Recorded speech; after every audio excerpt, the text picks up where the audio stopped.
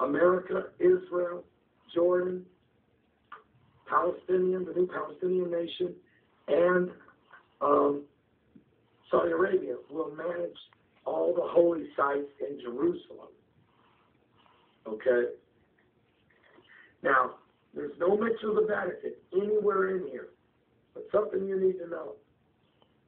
When Israel, when Israel is responsible for some of the holy sites right now, but 75% of the holy sites right now are being managed by the Roman Catholic Church, the Vatican. They will get to keep managing those under the portion of Israel's responsibility. So even though the Vatican's not mentioned here, the Vatican still plays a part in this agreement because they continue to manage those holy sites under Israel. That deal was just signed just a few months ago. That's when they said that, um, you know, it's part of the reason they went and talked to the Pope. Both of them did, and that was the Palestinian and the Jews.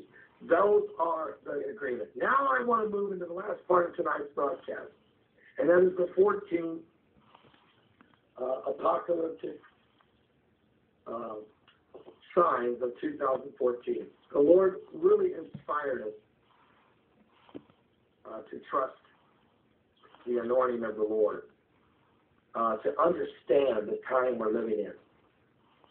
Uh, and as, as I was praying and praying, I said, God, you know, the Lord, you know, I didn't get I didn't get this in a spontaneous prophecy like last year. I didn't.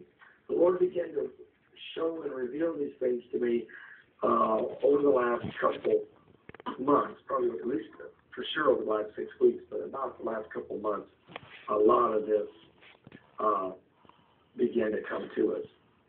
Number one, there will be an increase in meteor activity on the